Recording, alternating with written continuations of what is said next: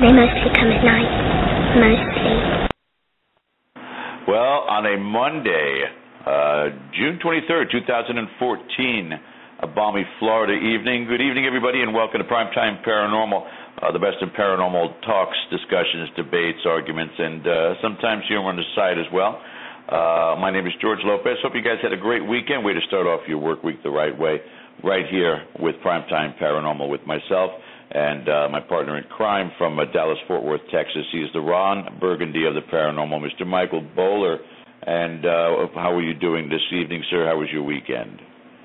Outstanding, outstanding. I woke up with uh, a heavy rain uh, Sunday and Monday, but my golf came in Saturday, and uh, we're experiencing what I call May type weather here in June in Texas, which means we're probably going to have a hot September. So there's your psychic weather prediction uh, here from Texas on what's going on. yeah, How are you? all around. Everybody's getting hit with storms right now, really, really bad. And uh, you know, we've got uh, at least three more months of this that we have to contend with. But you know, I've said this before, and and you know, your temperatures become really beautiful. Also, I know when I was down there with you guys. Uh, that one March, the weather was just perfect and uh, a little chilly in the morning, but still beautiful. And uh, you know, it's the sacrifice we make for living down south, Mike, right? Because you get three or four months of hot weather. The rest of the time, it's absolutely gorgeous. That's true. Yeah, that beats the uh, the six months of, of, of gray overcast I hear is up north uh, from about October to May uh, for everybody that uh, is up uh, in the northern part of our uh, ghost hunting areas.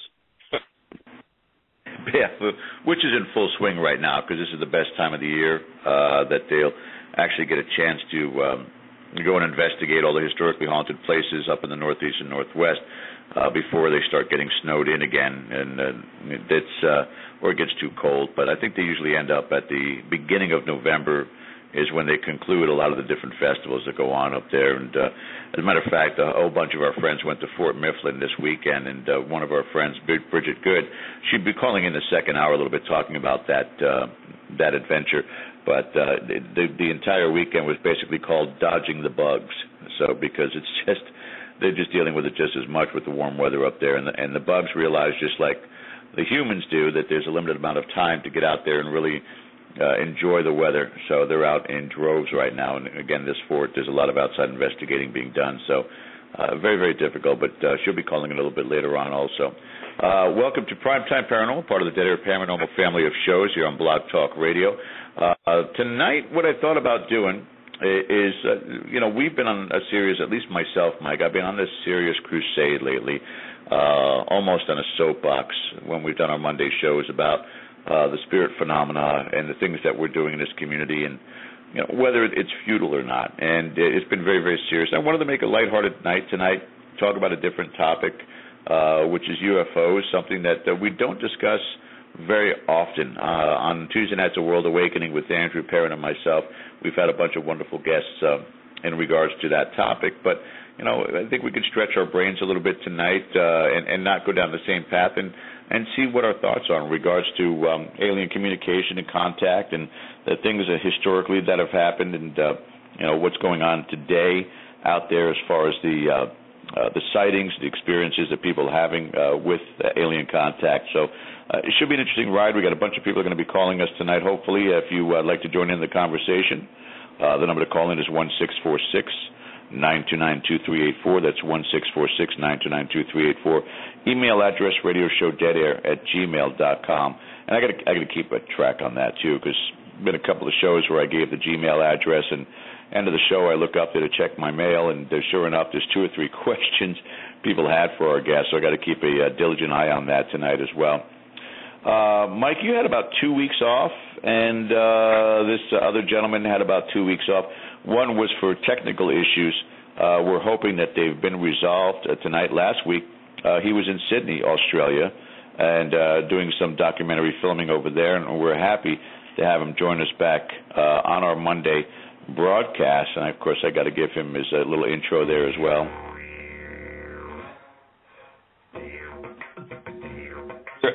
Ashley Hall, are you there and can we hear you? Let's hope you can. you got Success.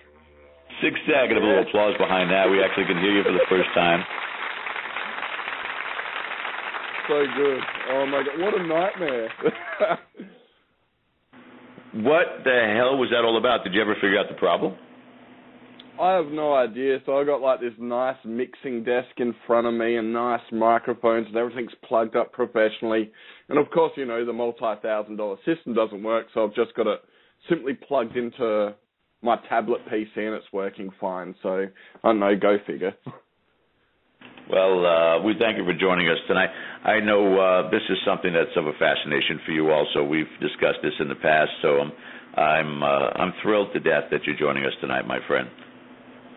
Yeah, yeah, looking forward to talking a bit about UFOs. That's really what first really got me into the paranormal field. So, yeah, I'm excited to talk a little bit about that. And uh, joining us also, uh, he was with us last week when we were doing a again a very uh, goal-oriented panel about the direction of this field uh, by the show hosts that are out there, the different show hosts in the paranormal community. Uh, this is the gentleman, the founder of Paranormal Geeks Radio, Mr. Jim Heater, joining us tonight for this discussion. And Jim, I know it was last minute for you when I contacted you, and I appreciate you taking the time to come on tonight, my friend. Hey, no problem. It's better than watching the the weather come in and the uh, severe flood warning we're under. Oh God, where are you at again? Where are you stationed out of? About 130 miles straight south of Chicago, in Champaign, Illinois. Oh, geez, yeah. So you you you're gonna have to deal with a lot of this weather the same as we are too. Yeah, I saw that whole front coming through the Midwest. So, uh, but uh, gentlemen, you know, I wanted to bring this up in topic tonight. Something we don't normally talk about on our Monday shows. It's usually about uh, the paranormal community from the aspect of spirit phenomena. And, and uh, like I said, I've been on a crusade for too long of a time, so I wanted to change gears, change directions here. And Mike, you and I have had probably uh, as many off-air discussions about this as we had on air, probably more. But uh, we kind of dismiss this aspect of the field because it's you know the way that you and I have called it before. If it's tangible, uh, it's going to be on the six o'clock news uh, because this is something that is. Uh, uh, I mean, we've seen movies about this almost for this entire uh, uh, 20th century and also the 21st century now, but it's always been kind of portrayed as an invasion. Very rare, except in this aspect of Steven Spielberg uh, or the movie Paul and such as that, where uh, they are benign uh, species. Usually, they're here to take over the world on that. Uh, what are your thoughts, Mike? You know, the existence. I mean, you you've been extremely vo- uh, vocal lately as far as uh, being very skeptic in the community as far as spirit phenomena what's going on. But as far as UFOs, where do you stand? I, I think that uh, uh, you have to look at it for just exactly what it is. That uh, the universe that we uh, live in, uh, you know, space as we know it, uh, with what scientists have been able to uh, uh, discover up to 2014 up to date, and uh, I, I'm not greatly educated on this, but as you know, I'm I'm a huge one. Watch Cosmos, uh, watch a lot of the scientific shows. Big fan of the Science Channel, uh, and and have you know slowly educated myself through entertainment type uh, shows, Discovery Channel, and things like that. That to say that there is not a possibility of something intelligent being out there is uh, absolutely ridiculous. That we don't know uh, at this point if contact has ever been uh, uh, established with anything, uh, whether they have tried. Uh, maybe they have, and we don't even know what they are. And I think that's where I go a lot of times in discussions with this. Is is that I think Ben Hansen came on one night, and we dabbled in this uh, talk just a little bit. That uh, may have been with Kool Aid with Chris Medina on Wednesday, but uh, as he said, he said, you know, are, are, why are we looking in the sky? You know, who says we have to look to the sky to find UFOs? Why can't we look in the water? Why can't we look in the ground? Who knows if something uh, extraterrestrial uh, shows up here on the planet, uh, that it's going to come, just like you said, George, uh, the same way we've seen them come in the movie. Um, that we don't know, and I think as as technology in the paranormal field advances, uh, with different creatures, with Bigfoot, you know, with ghosts and, and, and spirits, and the investigations that people do there, uh, that the UFO field, I think, will grow in leaps and bounds as the technology advances in what we're dealing with in uh, discovering things that uh, uh, were not a part of this planet at one time and, and trying to figure out maybe how it got here. Uh, obviously, we've got a lot of controversial uh, topics with Area 51 in New Mexico and the, the government hiding things, and you have your uh, conspiracy theories uh, that I think probably do more harm than good when it comes to uh, ufology. But uh, I think it's an absolutely fascinating field, and at times you've heard me uh, say to you in our private conversations that I can almost in my brain tie in Bigfoot, uh, UFOs, aliens, ghosts, and spirits into the same thing and say, what if they are all within the same? Uh, and, and that's something that I think maybe we could touch on tonight. Absolutely, absolutely. And Ashley, as you spoke of, I mean, that was the catalyst for you getting into the field of the paranormal to where now you're a tour guide at a haunted location uh, in Australia. But uh, give us, uh, again, the, the story of your fascination with ufology to begin with. Yeah, I guess uh, it began when I turned about 18, 19 years old. So I was, you know, I had a very heavy interest in the paranormal, and I was talking about this one night, and someone that was sitting across the table from me basically just told me their UFO experience, and it was quite an interesting, I guess, close encounter. And I went from there and just looking further and further into what happened to him, and then I found out his family members had other things. So I asked them about it, and basically just grew from there. Just people finding out that I was interested in hearing their stories, and uh, they would just contact me, and I, I had a, a lot and a lot of case notes and know, I'd probably you know interviewed well over a hundred people, and the catalyst that kind of changed from me being into UFO to more ghosts and hauntings was I moved house and I lost all my case notes. Everything was gone. Well over a hundred people interviewed. You know, lots of uh, night vigils, lots of sightings, lots of maps, things like that. All of that was gone. I kind of um, I guess yeah, kind of upset me a bit. So I kind of just moved in a new direction. But those, those that decade was was very interesting and quite opening for me uh, in in regards to the I guess just the, the, the wide range of people that are having encounters and seeing these objects all all well for me across South Australia, but also across the world.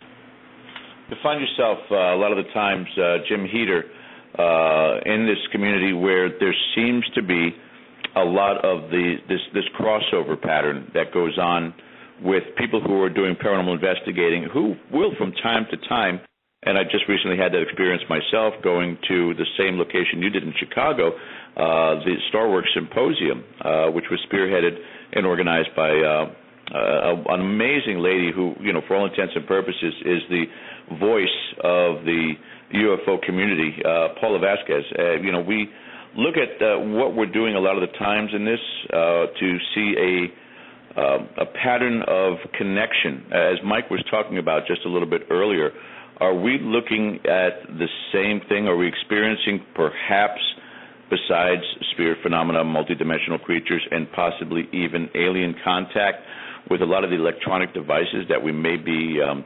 confusing as uh, former people that are now in spirit form may actually be not even uh, terrestrial to this planet?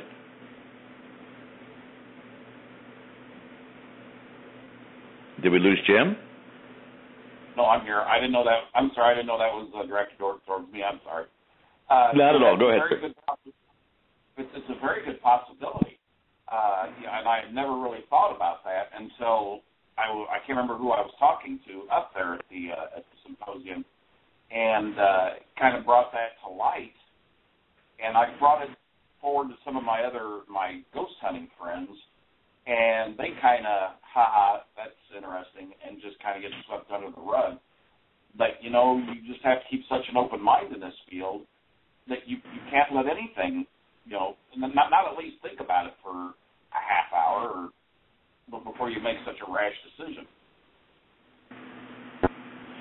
It puts us in a perspective a lot of the times. You know, for myself, now it's the same thing. I, I uh, I sat at this event uh, in Chicago as you did, Jim, and there were a bunch of lecturers out there, and I found it comparable to uh, the spirit phenomena community, uh, the ghost hunters, um, that it was people telling ghost stories and showing their pictures or uh, pictures of other evidence that they've seen out there. Uh, but the difference is, is that by proxy, by the uh, the capability that it's there in its existence. I'm talking about places where we can investigate. Um, I'm just not seeing that much. Now, I don't watch any of the UFO shows, and I think Mike you've kind of gone all up and down the, the dial, the TV dial, to uh, boy, that that's dating me there saying that. But when you would go and look at some of these, you know, Bigfoot shows or UFO shows, and they seem to be out there in the field. But you know, are they doing it in the same fashion, format, and way that we would be doing things from what you would see? I mean, they're using night vision goggles. We use night vision goggles. They're using audio equipment, um, uh, like the parabolic dish. We use that in our investigations. Uh, photography, videography, things of that notion. But are, are are they seeing the same results, and are they miss uh, misnaming things that are going on, or, are they calling things uh, UFOs that aren't UFOs that are out there that could be possibly satellites, uh, weather balloons? There's the old uh, uh, that the people would talk about too. But is there a possibility that um, the, the parallels are so similar, and we're still not getting the groundwork done that we need to in either one of the communities? If the groundwork's being done, it's not put on TV, and I think that's the magic word there. Uh, going up and down the dollar, scanning uh, with the remote uh, through the cable box of the 9 million channels that we now have, half of them coming from outer space, as we say. Um, that's it, George. Most of the ones that I've watched there, they're, they're looking at light phenomena, uh, which a lot of times are weather balloons, are satellites. Uh, a, a lot of times, uh, some of the people, some of the sites I've been to that debunk will show uh, shows and, and uh, uh, different paranormal UFO events that are seem to be scientifically unexplained. That uh, I believe I can't remember the actual website, just that he can explain 99% of them by looking at the satellite. Uh, uh, basically, when they drop and move, uh, the satellites that are moving at night for repositioning uh, that are generated, and I think it's free to most people to get the uh, a readout of their uh, latitude and longitude. Uh, and he says this corresponds a lot of times with these sightings, but it makes for great television. You've got people going out to uh, Arizona, uh, some in Texas, New Mexico, some of the hot spots. If you're going to make a TV show, uh, you need to have a compelling story for your audience, and this is what they're doing. It's not that they're not doing good work; uh, they're simply doing work that is uh, going to please the producers and the television channel, uh, keep the listeners uh, or, or watchers involved in it by uh, showing things that really are, are quite odd in the sky as lights appear for no reason, uh, not that anybody can explain. Uh, with today's technology, with the telescopes, binoculars, uh, you know, they can see things uh, that uh, we couldn't see years back, uh, and, and, and these phenomena they go on over and over, and, and you know it's it's easily explained. Uh, a lot of the groundwork, as you're talking, that's done uh, with ufologists uh, around the country.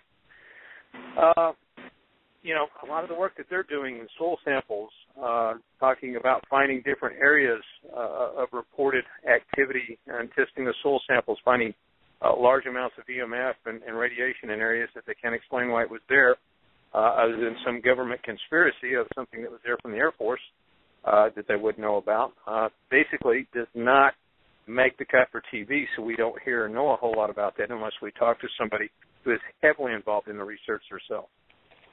I want to uh, make a, a, quick apology and uh, restate also the uh, the organizer for the uh, StarWorks uh, symposium in Chicago we went to a couple uh, months back is uh, Paula Harris, and uh, again, giving credit to somebody who uh, orchestrated this and brought uh, together some of the great minds in this field. And I heard a lot of different things during this particular conference, and um, what I'd like to do is kind of a quick rapid fire with uh, with Mike, with Ashley, and with Jim. And Ashley, we'll start with you. I'm going to bring up one particular topic uh, about the mythology of UFOs and uh, tell me what your thoughts are. Is it real? Is it fake? Or is it a little bit of both? Uh, where people are uh, are involved with uh, creating false positives. We'll start with uh, you, Ashley. Crop circles. Uh, crop circles. Um, yeah, I guess that's an interesting one. I guess for a while there, and when they were really first starting to turn up in the, I guess what 60s, 70s, and 80s, people were you know, really into it. But it was found out fairly early on that there were there were basically two or three guys that were responsible for quite a few of them across Europe, um, going out with their boards and stomping down. But there are so many crazy patterns in them, like basket woven effects and all sorts of strange things that make it seem like you know there's got to be a bit more work going into it than someone with a, a rope and a board stomping through some fields. So are they tied to UFOs landing or just leaving messages? I'm not sure, but there's certainly something interesting to look at. Mr. Jim Heater, crop circles? Sure. Uh, I uh, was pretty much a skeptic on the uh, crop circles until I had a guest on on my show, and I cannot for life me remember her name. I might remember it later on. But uh, allegedly, there's a well, there is a video out on YouTube about one. It shows one being made by a ball of light. Uh, mm-hmm. Ball of going spinning around the field, and it lays it out. Uh, oh, sure. I thought that, that was a hoax, and I told her that, and she really explained it really well why it wasn't a hoax. But you know, I, I agree with Ashley. It, I, I can't see where you'd have a couple guys sitting around the pub, uh, going out and getting some boards and some uh, rope, and deciding to do some sort of pattern. Some of these are so intricate, and they they mean they actually have some sort of meaning to them they can actually be read by either some sort of hieroglyphics or some sort of uh, chemical symbol, something. So I'm getting more and more into it, but I think there's a lot easier to uh, leave a me- a lot easier way to leave a message than uh, going around flagging a lot of wheat. Mr. Bowler, uh, you know, if it were some sort of a hoax, uh, and I consider to be uh, one of the most intelligent people that I know that, I, that, I've, ever known, and you know you you've got a, a rational way of thinking about things, but a logical way too. Uh, and, and some of these designs are, are, as Jim just said, so intricate and can only really be seen from the sky. Uh, and when they have these geometric shapes that are perfectly designed, uh, I mean, could you be able to even to get ten of your friends together and be able to figure out how to get something like that done in one night?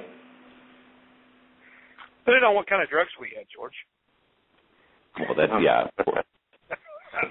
uh, no, I, I, I'm right there with you. I, I mean, this is one, one, once again, this is something we don't know. And as we're talking about this, this is why I love these shows and being a part of this. Why have we not done more research on this? What I would love to to have right now is somebody that's researched this. They could say these started in 1981 or whatever. The first one was spotted, you know, that we knew about uh, since we've been keeping history of these things uh, and then they went along for three or four years and then stopped, which would lead us to two explanations uh, that the guys at the bar got bored and quit doing that, or you know they got caught and said, "Gigs out, it's not fun anymore." Uh, you know, uh, maybe, maybe there were some copycats if, if if that's the case, or whoever was visiting got what they came for and and left. I mean, you you can look at it two ways uh, how long is this one going on? You know, when when you see news stories like this, I always wonder what their shelf life was. Uh, I haven't seen anything about crop circles. Is it an ongoing thing? Uh, you know, you could tie it into cattle mutilations and things like that, uh, which you know that's another subject we get into uh, about that. But I, I don't know. It doesn't make any logical sense that if something was going to travel to this planet and do such what we're assuming is a wonderful job of covering their tracks and making sure that we're not aware they're here, that there's no communication, that they sneak in and sneak out. But yet they forgot to turn around and where they parked their ship, they left a big, you know, hey, well, they won't figure it out. They'll blame some guy in the bar for it. Um, you know, it just it, it doesn't make any sense, like, like you said. But what I would like to know more about is is that one of the things that I think where the community fails itself is that is very interesting, and, and it is paranormal because we really scientifically have not explained what caused them. We don't know that it was the guys in the bars that did all of them, but we haven't researched it any further either. We just simply turn around and say, well, it could or it couldn't be. Maybe because these guys did that. Who has taken the time, spent the money, and done the research to say this was the first one, and to the best of our knowledge, this was the last one, and we haven't had one since that's been reported? Why are we not there? That's the kind of research this community needs to be doing. There's another portion of this too that um, seems to follow in the twelfth monkey theory that uh, there's you know these particular designs, hieroglyphics, if you will, that are you know bore into wheat fields and otherwise that are uh, international. They're global, so they they wind up in different parts of the world. And uh, you know, is it a possibility that you know a copycat begins with the first ones that are out there, and maybe the first ones are authentic, and then you know, as a trial, certain people get out there and try to see if they can't mimic and do the same thing as well. Uh, I mean, this started in the 60s and 70s. There was no internet, yeah. so it's hard to really get those broadcasts going to other countries. But the possibility that the ideas or the evolution of man came at the same time and they were all doing it at the same time is a rare possibility, but a possibility nonetheless.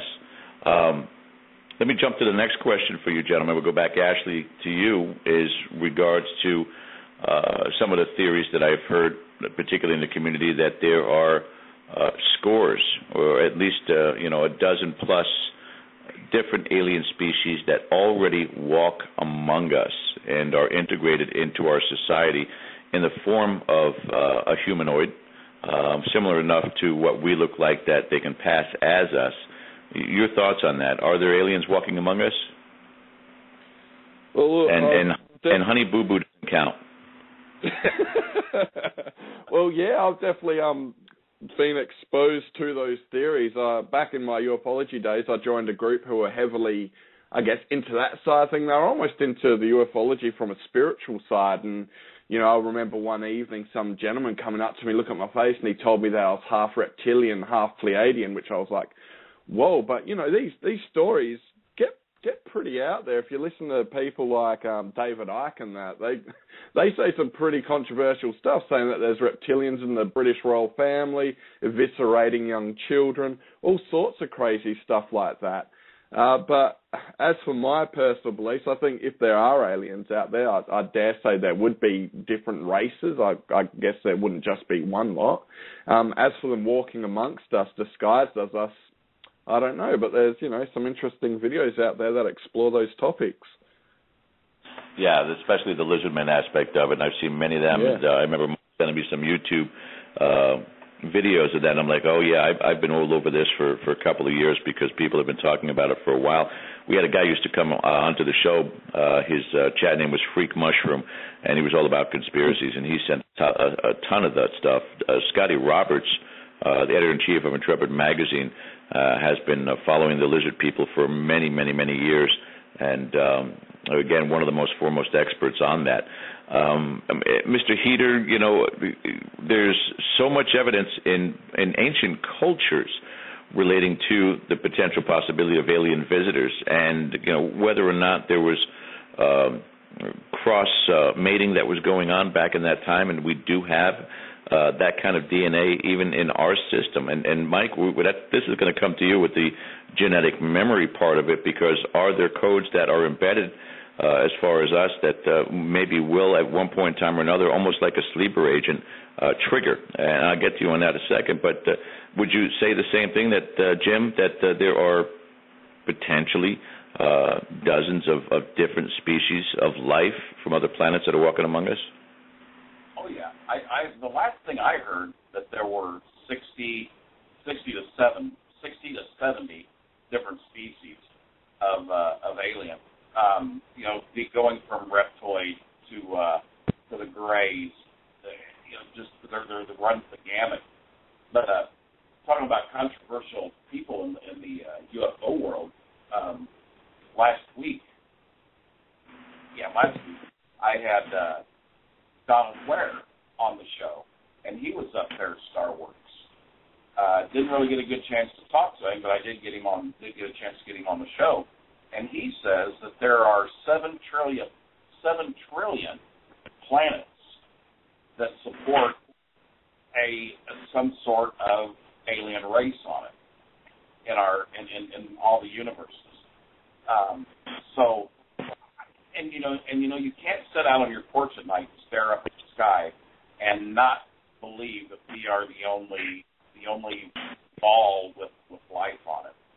Uh, but it's if they're here, uh, I do believe that they probably some have some sort of uh, shape shifting capability, uh, maybe even a cloaking type of capability. Heck, you know, there could be one uh, you know sitting in listening to us right now in, in one of our rooms. Uh, but there's always that possibility. I'm, I'm open for anything. This is such an unknown area.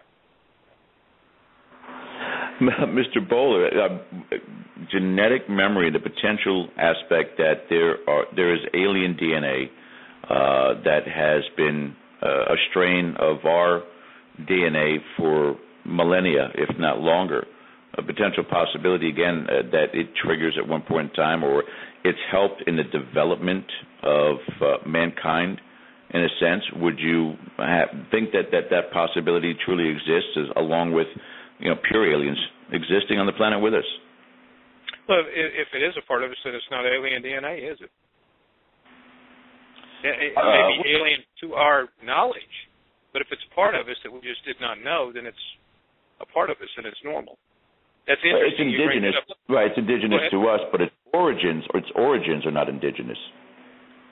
That's interesting. You bring that up. I I would not say in my research that I found anything that went that way with you know the genetic memory and the DNA uh, makeup of people. Uh, but man, that that would be a fascinating uh, thing to research to see if we could get some people that might go there. I want to throw something out there. I always kind of go outside the box during these shows, and I just did just now with your question. Let's say that Ashley uh, in Australia, the reason he took the two weeks off and he lets us know after the show, built a spaceship, and uh, uh, the four of us, including Jim, uh, George, we were all going to get on the spaceship, and uh, uh, he also discovered a way for us to be gone for just a week, but it was going to be like years for us to go to another planet. Uh, it was going to, we were going to be able to morph and, and fit in with their community. Uh, and we got there, and you know we're having the time of our life. It's been a couple of the years there. You know, uh, Ashley got us there. I knew he could get us back home safely to do the show next Monday. Nobody would know about this. But while we're there in the two-year time lapse period that we're there, uh, we decided just to pick a handful of individuals uh, throughout their community uh, that believe there may be something outside their uh, world and planet as well. Uh, and a few of them we expose ourselves and tell them, so you can't tell anybody else. And if the government hears you talking about this, you know, they're going to think you're wacko. And government kind of knows about us because we have a friend in there and they know we're here, but they don't really do anything about it. It's all a big cover up. We probably wouldn't go that route. So we have to assume that if anything is visiting is rational and intelligent in the same form that we are, why would they be doing this? It doesn't make sense to me that they would only pick a handful of people in the ufology community or people that are now a part of it to say they've had contact with aliens. But yet they, you know, we're not going to prove it. We don't really need to because they'll come out when the time is right. They're there. We know they're there. And they just hand selected a few people knowing that nobody would really believe this if it mattered anyway. And that's kind of where we're at. Am I, am I right? Well, this, it, what you're talking it, about, what you're talking about did happen you know the, the movie uh, Close Encounters of the Third Kind, when near the end where they had the uh, group of uh, volunteer volunteers that that went on the large craft at the end, that actually happened back, I believe it was in the early 60s, and it was called Project Serpo, S-E-R-P-O, where there were volunteers, uh, mostly, well, there it's supposed to be all men. There might have been a couple women, but that went to planet Serpo for like an exchange mission, and they came back in the in um, I believe it was 2001 or two, and there's still a few of them that are still alive. Uh, but this this is actually well, from what I've read, this has actually happened in, in the past. So you're saying that this is fact, not fiction? My understanding and what I've read is it's, it's fact. I mean, of course, in everything, there are going to be a bunch of naysayers. Uh, you know, in the paranormal community with ghosts and stuff. Oh, I don't believe in ghosts. Well, I don't believe in Planet Serpo. But there's well, a lot they of actually do, don't you think if they actually did this, they'd have so much to gain by bringing factual evidence and proof to the table? Why would they not? Who says they haven't? Well, well yeah. I'm, I'm saying they haven't because we haven't seen it Matt Lauer hasn't yeah. had one of them on the Today Show. And what I'm saying is, I, I maybe they tried, but why would we shoot this down? We go into conspiracy theories once again. And I think in 2014, the conspiracy theories with the way the political environment is these days, and people trying to uh, get voted into office, you you almost can't say that everybody in the government will keep their mouth shut about this, but yet they will shoot each other in the foot across, uh, you know, the Republicans and the Democrats who are trying to ruin the other side with any and everything they can, but they all get together on the UFOs and keep their mouths shut. But it's but it's not all government based. A lot of this is the private industry. Is uh, is Boeing is. Uh, and, and I'm not saying you're wrong here, but what what use would any private industry have in covering this up when they could profit handsomely by coming public? Say they are they are profiting from it how did how did we go from from rotary phones to these small phones we can fit in our pockets and do anything with in in 15 years? That's a great jump in technology. How did You're know saying nobody on so you're saying nobody on the planet had the knowledge or the wherewithal to pull that off that it had to come from outside? I'm saying, I'm saying we had help. Mm, I'm sure there's a lot of people over in Japan and China that would argue with you on that. Yeah, You don't think? Probably right. Our uh, very special guest tonight, uh, the host of Paranormal Geeks Radio, uh, Mr. Jim Heater. Uh, the number to call in if you'd like to join the conversation, one six four six nine two nine two three eight four one six four six nine two nine two three eight four. Uh, that that begs the, the topic of uh, and delving into this right now, conspiracy wise. I guess Ashley, it's something that uh, we're familiar with talking about the uh, spirit phenomena part of this community, but this falls into that same category. And Mike's bringing up a very very good point, something that I've argued uh, in in opposition to him in the reasons why this type of information, if it, if it was in existence, you know, the old old saying, going back to the old Looney Tune uh, story, "Take me to your leader." Uh, the reason being is because they've got to make the ultimate decision on whether or not society as a whole is prepared for that type of information. In other words, whether Boeing went public, Lockheed went public, NASA went public, the government went public in any capacity. Um, society as in my opinion again it's just my opinion but actually I want your opinion on it too and and, and of course Jim and, and and Mike also but I don't think that you know if the first thing comes into play in every single one of these that concerns me both in spirit phenomena and in ufology um, were in existence in a public standpoint the public at large is going to want to ask the main question is there a god that's going to be the main question. The technological advances, the medical advances, uh, even the aspects of what they could do with their minds that we've not reached yet would be secondary to the question of faith. Is there a God? Uh, would you believe, Ashley, that's one of the reasons why, if the information uh, does exist out there, that it's kept in uh, in confidentiality because, as a society or as a species, we could not handle those answers? Yeah, I think I think uh, you know the the main religions in this world do have a fair bit of sway over what does happen, and yeah, those questions would come up. I, I remember I remember hearing it once that if aliens came down to show themselves to be real, you know that that question is going to come up: Is there a God? Is let's assume that I don't I don't even know how to say this, but you know did did the aliens of their planet did they have a Jesus sacri- you know die for their sins? You know d- you know there's just so much. Uh, does do, do these aliens have a variety of religions within their own uh, races? Do they have a Christianity Catholicism uh, Jewism Muslims? Do they do they have all that themselves? And if not what does that mean for you know the gov- the governments and religion you know the orders here? Um, I don't know, I'm kind of dancing around the subject so I don't want to offend anyone at the same time, but yeah, hopefully you understand what I mean. yeah, and, and Jim, it's you know it falls into that category. I mean, if they come down and uh, the first thing they do is they, you know, they, they laugh and say, you know, the Vat- first of all, the Vatican's sweating, you know. Uh, the, the, every different faith out there is just, uh, you know, on the edge of their seat because of the gl- the global leaders uh, in whichever denomination, religious denomination uh, that they are in charge of, are going to be sweating because they're not going to know the answers. Or, Jim, would you think that those religious leaders would also be notified if this was, again, first government ruled uh, and then globally ruled by leaders, that those leaders would have to be involved also because those decisions would impact them financially, socially, and uh, and of course from the faith based, if it no longer existed, uh, what that would cause for all of their parishioners worldwide. Well, one thing is that I, I honestly believe that the Vatican knows more, probably more about the alien life or what is going on up, up there, out there under us, wherever it's at, than than we know. And I believe they've got the answers from a lot of the books from the Bible that they have suppressed and not put in the Bible. Um, um, so that's that's that's one thought that I have.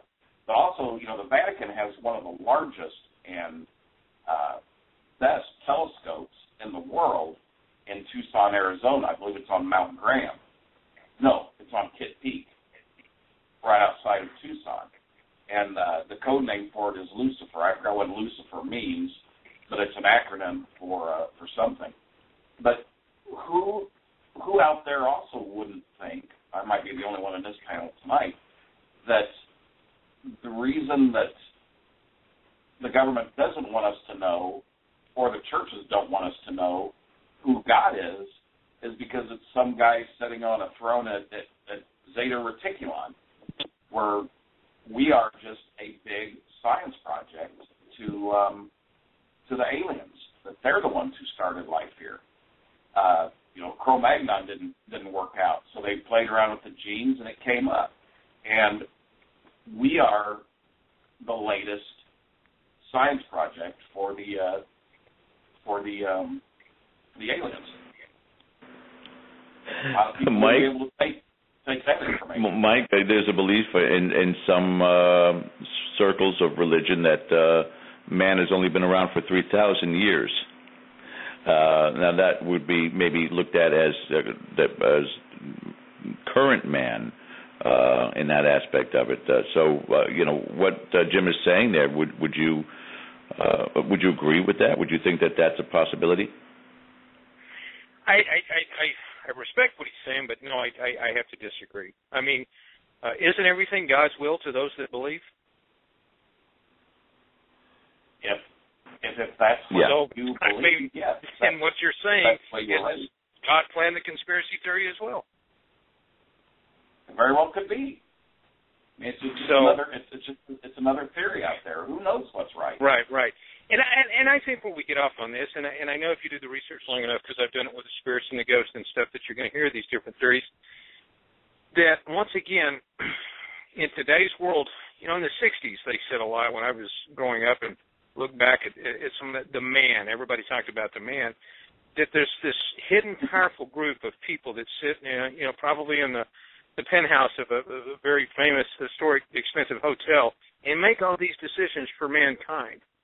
And I think for a long time we thought that this was true, and this is not true. I don't believe this to be true in 2014. I believe people like Mark Cuban, the owner of the Mavericks, some of the wealthy people uh, that have come uh, to be very rich and very famous in the last 10 or 15 years due to the dot com era and, and different things like that, would be a whistleblower, that they have the power, the influence, the knowledge, and the money these days to know about them, that they're not sucked into these secret groups and say, hey, we love you, Mark. You got billions of dollars now, but you cannot tell on us. We might invite you to sit at the table and you can make a few decisions, maybe about what goes on in the United States. We're going to have some of the top religious people there, and we make all these decisions for mankind based on what we think we know is best, and we shut everybody else up. I just Mike, uh, and and uh, gentlemen, I need to interrupt for just a second. I've I've got an amazing uh, opportunity and privilege here for all of us to speak to uh, uh, an amazing lady. Again, she was the organizer for the event that uh, Andrea Perron and myself, and also Mr. Heater attended uh, in Chicago, uh, the uh, Starworks Symposium, uh, just a few months back. Paola Harris joining us uh, on the show, and I'm so excited. Paola, thank you for joining us tonight. I appreciate it very much. Anytime, George, anytime. Listen, you know, uh, Mr. Jim Heater is here, our uh, Australian correspondent, uh, Mr. Ashley Hall, uh, Mr. Michael Bowler, my uh, host, uh, my partner with myself.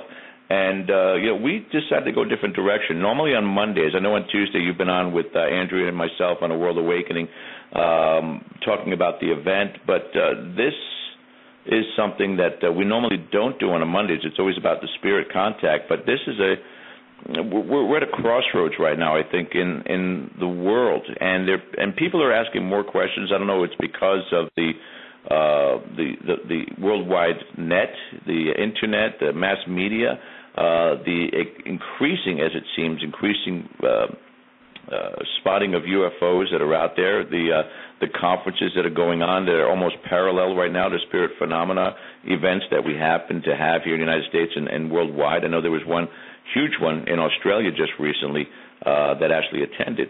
But uh, for yourself, give everybody first who who don't know you or the UFO community your involvement with um, this field and um, just a, a quick bio for everybody so to, before we get up to speed. Well, basically, I'm an investigative journalist, which means I'm more like Barbara Walters. I ask the questions. I don't come, uh, you know, with with already preconceived uh ideas where I'm trying to fit everybody into the box. I since I'm international, I was born in Europe in Italy in Rome and I was working out of there until 2007 and was in many countries in Europe. I have an international perspective on what's going on and my my expertise really comes from my greatest teachers and they, I worked with Dr. J. Allen Hynek for 6 years and from 1980 to 86 and you know he's the godfather of ufology and my greatest biggest story was um Colonel Philip Corso that I brought to Europe and spent a great deal of time he wrote the, de- the day after Roswell and and if you look on my Facebook I just put Monsignor Balducci God bless him because these people have all passed on and I spent a lot of time lecturing with him in Europe uh, about uh you know it, the Vatican's view, or they they allowed him to speak about uh, you know the extraterrestrials being like people, like uh, you know our brothers and sisters. So the background is that, and and since I wasn't, I'm sorry I haven't been following your show. I don't know what kinds of discussions you've been having. A good portion of it uh, so far has just been getting the opinions on so many of the different uh, myths, legends, and uh, half truths about uh, those things that people out there have already experienced from a, a social standpoint, such as crop circles, uh, the debate of whether or not there's already alien life in existence here on Earth in humanoid form uh, that are passing as humans. And uh, again, what we're talking about now also is the conspiracist theory, and this is one I think that it's a perfect time for you to jump in on this discussion, is regards to why, and, and this is Mike uh, Bowler, you know, the the host with me on the show, that really asked this is, you know, why is it not being released to the public?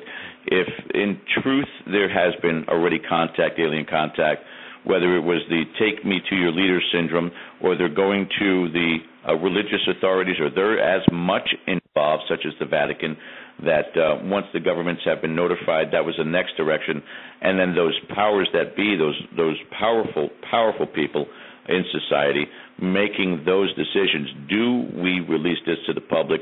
And obviously, the answer to this point is no, because our species is not prepared for it.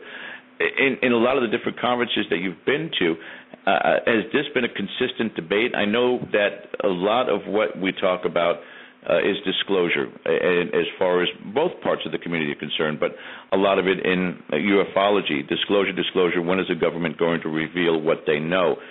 Is it too much of sensitive material? And just before you called, the reason was brought up too is because one of the first questions I think that society would ask in general would be, is there a God? Would be the question to these aliens. So, as a species, are we prepared? Is that a logical first step reason as to why any uh, powerful government or authorities would withhold that information from society? My God, holy moly! There's about five questions in there and five different areas you're covering.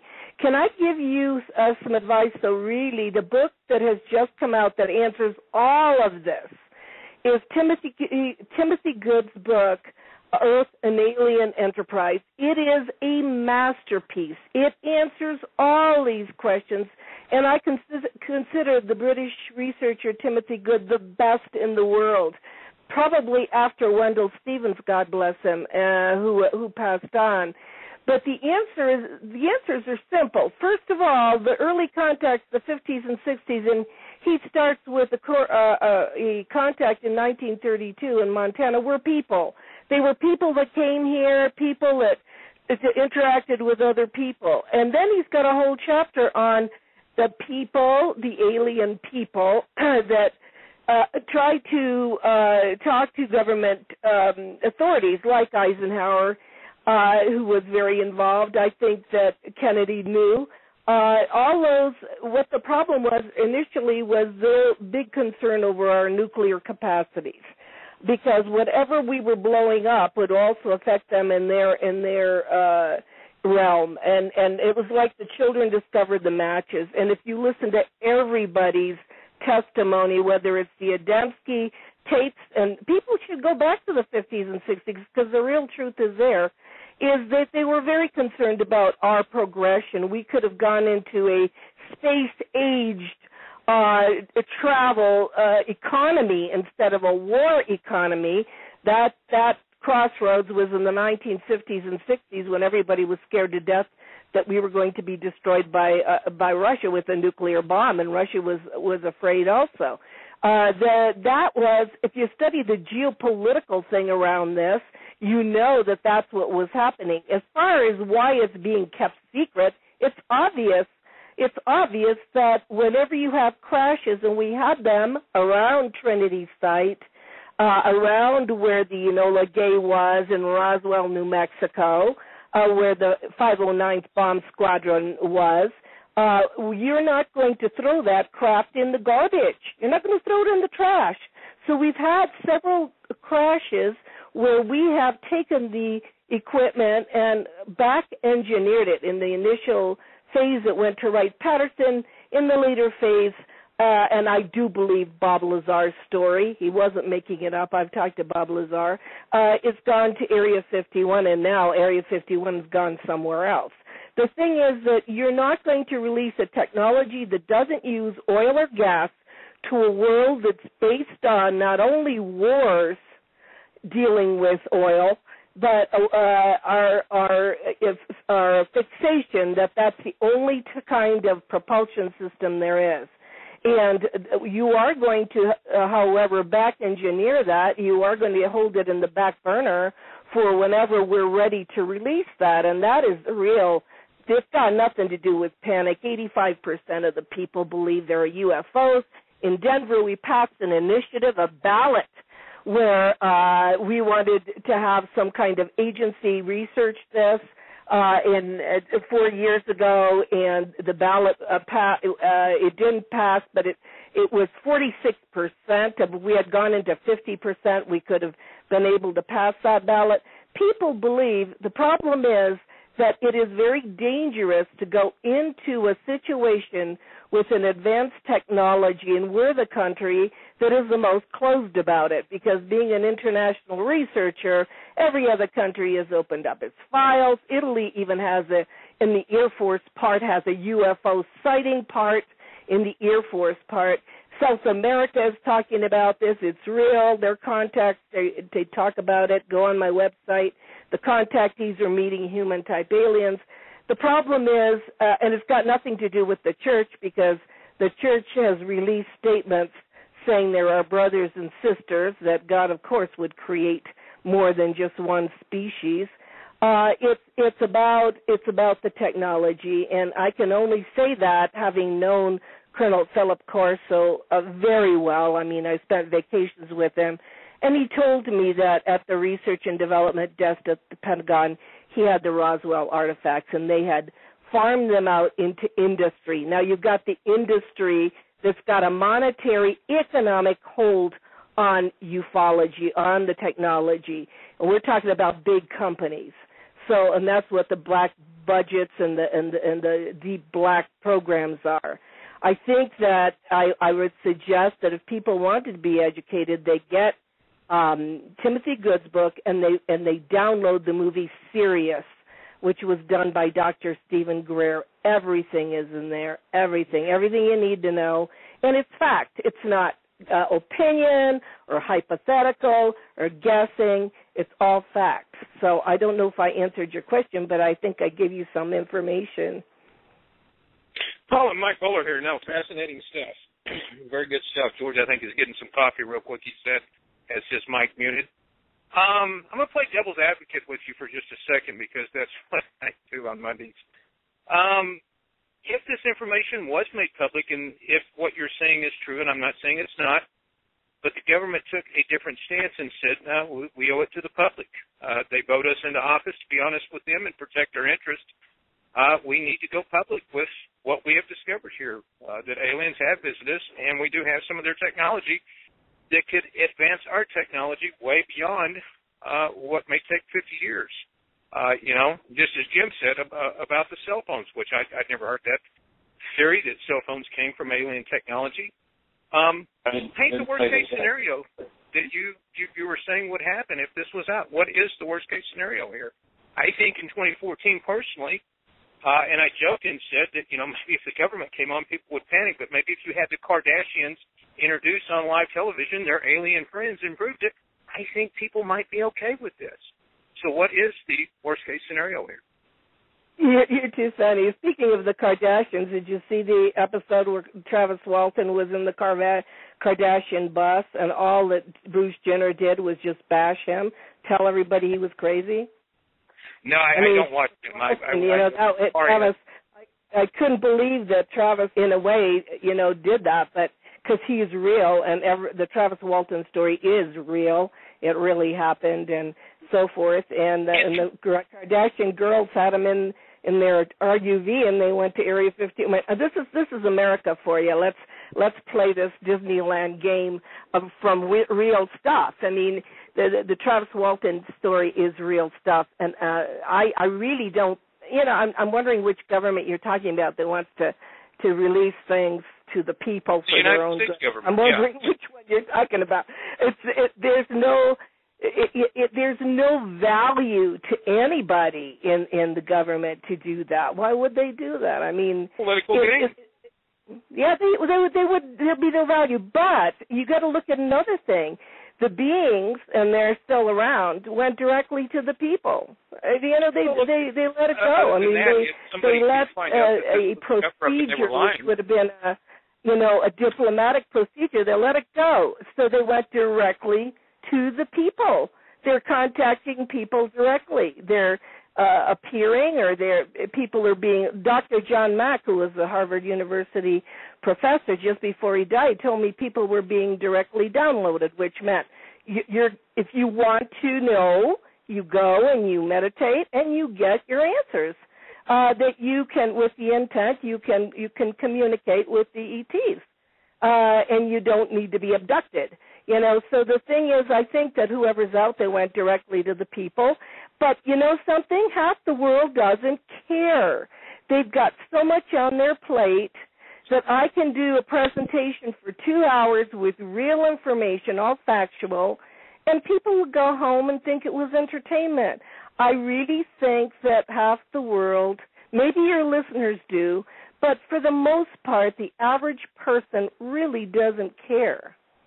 Could you give me very quickly the best piece of factual information you have to convince me as a skeptic that everything that you're discussing with me is factual? No, I'm not going to do that.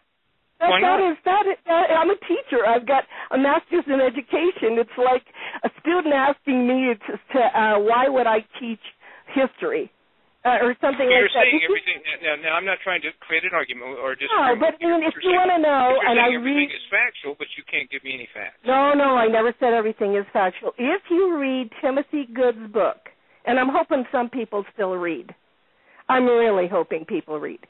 Timothy Good is an excellent, excellent researcher. He goes, you know why he's excellent, and, and I do the same thing. We're field researchers. We go on location. We speak to the people. We look at their faces. We know if they're lying. Uh, in my case, since I've been doing it for 30 years, I can tie it to other things. All of my four books are interviews with military and astronauts. Um, factual? Okay, I'm friends with uh, Edgar Mitchell, sixth man that walked on the moon. I've talked to him at length. We're very good friends. He wants the Roswell files open. He knows that the astronauts have had contact. He wants it done in his old age. That's factual. I, I'm not saying that it's not factual that they're saying. I'm just saying is is that I wish we had a little bit more concrete factual evidence versus somebody's opinion and somebody's faith in the belief of somebody being honest in what they're saying. No, me Which is what we're I'm on the same. I'm on the same page as you are. Me too. Me too. You and I are on the same page because all that there's out there is opinion. So you can go on internet and it's all opinion. You go everywhere and it's all opinion, and nobody's done the homework. So Right, yeah, right. And- you're, and I'm you- you. I am with you 100 percent. Right. As I Nobody's started this the- show, I, I, as a skeptic, said that I would have to uh, be insanely uh, ridiculous to say that with what is out there, the vast galaxy that we live in, uh, our universe, if there's not some other form of intelligence out there, that uh, uh, I would be uh, sadly uh, misspoken to say that there's not a great possibility there is. And Jim, before we've got some chat questions, I know George wants to get to. I wanted you to jump in on this too, on what I had asked, what you think the worst case scenario might be if you had a reply to that too before we move on. You, Was you that, want was me that for me? Who, Who do Yeah, you, this do is you for Jim. Jim Heater, go ahead, Jim Heater. Jim Peter. Okay, okay, Jim. would Okay. you, you mind would you mind repeating the question one more time? You are very Well, well I, I basically like was saying is. is is that in, in in our discussion tonight that what's been brought up so heavily is the theory that the government and and and for lack of better terms the religious uh, po- political government that, that that governs the churches uh, knows a lot more than what they're saying, but yet they don't come public with this. Um, because we can't handle it, because we're not ready for it, or there's nothing to gain from it. And my thought was uh, that if they're keeping us or saving us from something, if they chose not to, worst case scenario, uh, if there's theories about why they're doing it, then what are the theories of what would happen if they didn't do it? And they made all this public, and this was all true and factual, that we had been visited and we did have technology that they didn't understand or could move us forward 100 years. What's the worst case scenario in 2014 that you go public with us? Well, I, I do believe that that the human race as a whole is not ready to know what is actually going on out there. Uh, again, this is just my opinion. In the 50s, late 40s, early 50s, I think that it would have been easier for the human race to accept this. But everything that, that the a lot of the stuff with the people who don't really do any research on this, the only thing they know about aliens is what they see in the movies. And of course, it's, it's Independence Day all over again, where they're going to come down and attack us. So I, I think that a lot of them just figure that that's what's going to happen, that they're not going to be nice and come down and, like George said earlier, you know, take me to your leader. Uh, then we got to figure out who that is. And um, I, I, I just, I really don't think that be that they're ready for it, and I, I can't fathom, or I have no idea what they would, uh, what they do. I don't think they'd be rioting in the streets, but I do think there would be an upsurge in religion. Uh, I think there'd be a lot. I think all the churches would be full on uh, on Sundays, Saturday night. Right, right. No, I, I understand, and, and, and that makes sense now. That uh, basically the doomsday uh, type prep, that uh, worst case scenario would be the one that a lot of people would look at. Uh, that the end is coming. That that's the only reason they possibly could be here would it be take over uh, and possibly uh, exterminate the human race. Um, and, and I guess protecting uh, the mass chaos, uh, the globe from mass uh, confusion, chaos on situations like that uh, until they Yeah. get the word out. Not thinking they could. So. Uh, George, I know uh, anybody that uh, had a question tonight, you could put it in chat. Uh, Six four six nine two nine two three eight four. If you want to join the conversation, but George, we have some chat questions, do we? Uh, no, there's actually this question's mine for uh, for Paul and then Jim to follow up also on this. And yeah, I, I 100% agree. I mean, look, I mean, people go into mass suicide when you know NSYNC breaks up. You know, Y2K, anything that goes on that, that looks like it's going to be the end of the world, people take their lives, uh, or there's a cult leader who gets their followers to take their lives. So yeah, again, I agree that uh, from from an aspect of globally as a species, uh, and I think Jim makes a very very credible point.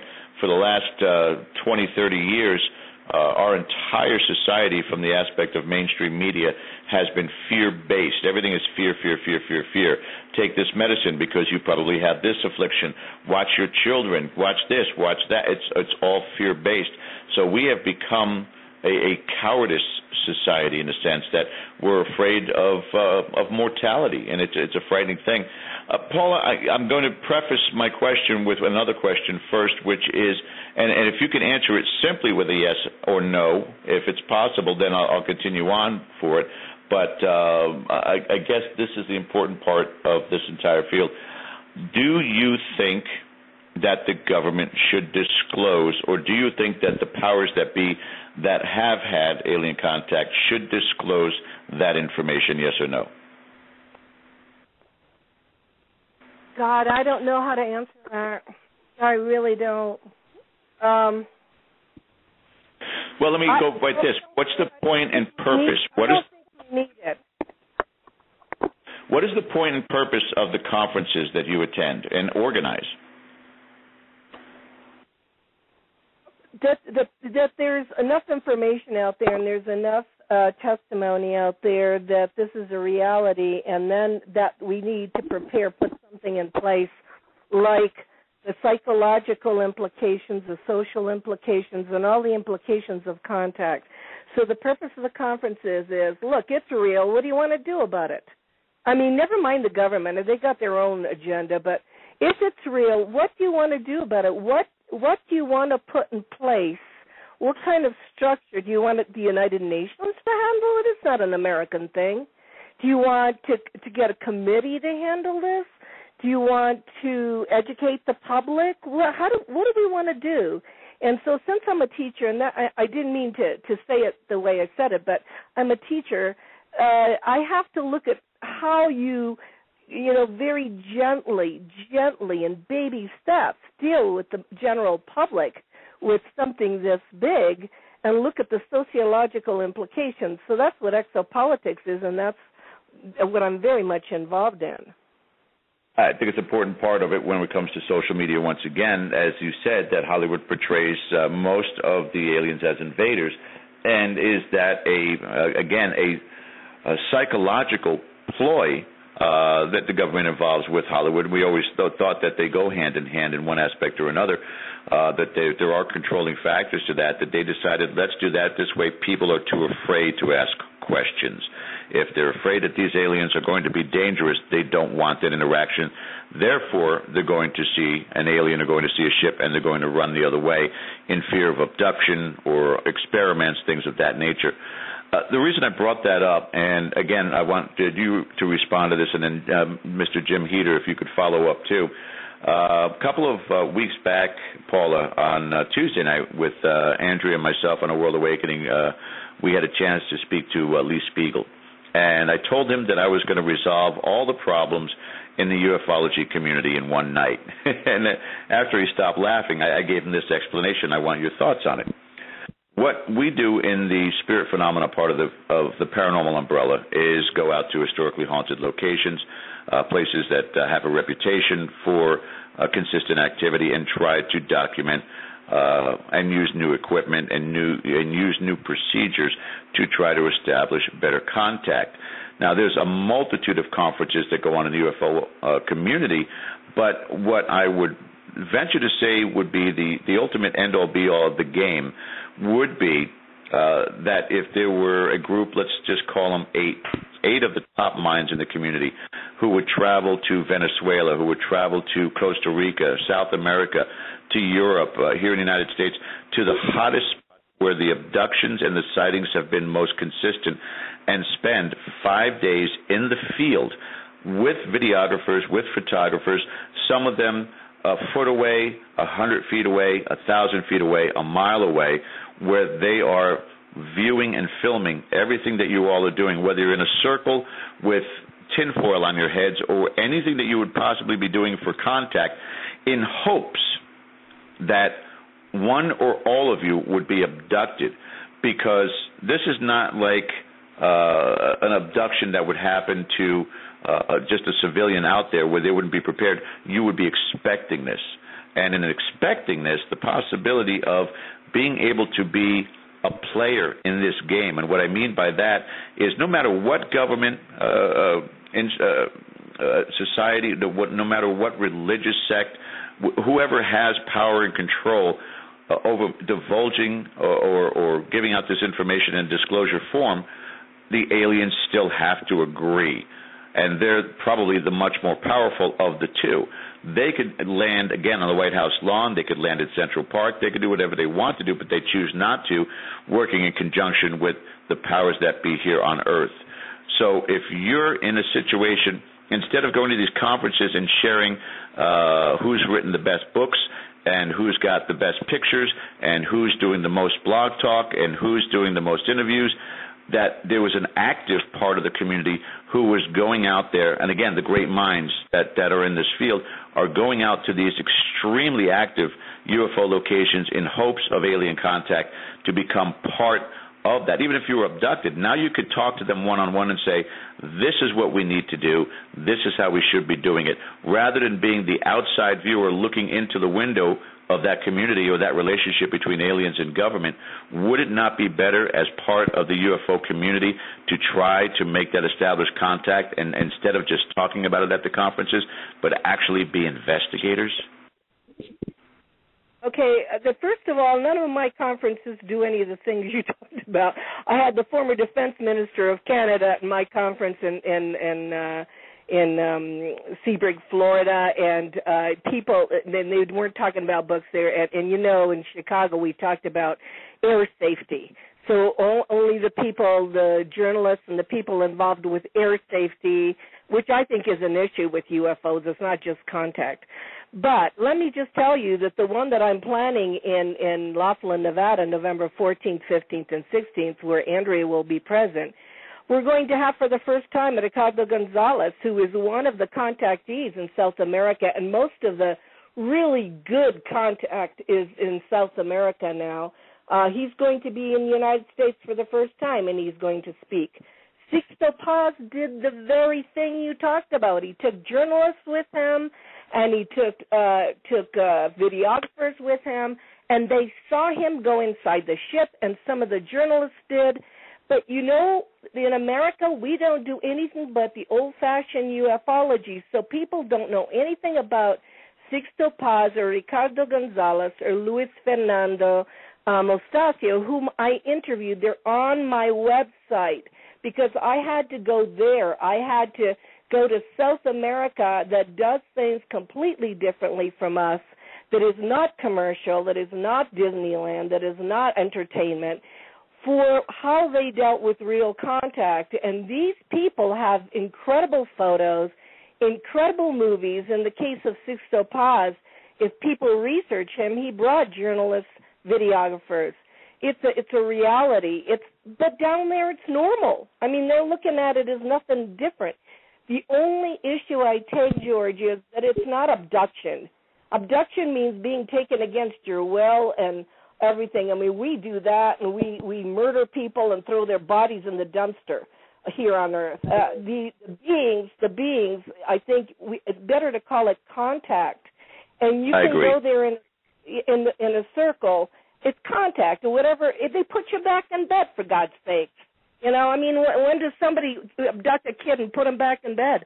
Uh, here, uh, human beings don't even do that. But anyway, the the I believe that the paranormal, or what you call the paranormal, uh, when you do your investigations and when Jim does them, are just in the same area as UFO research. They're not separate.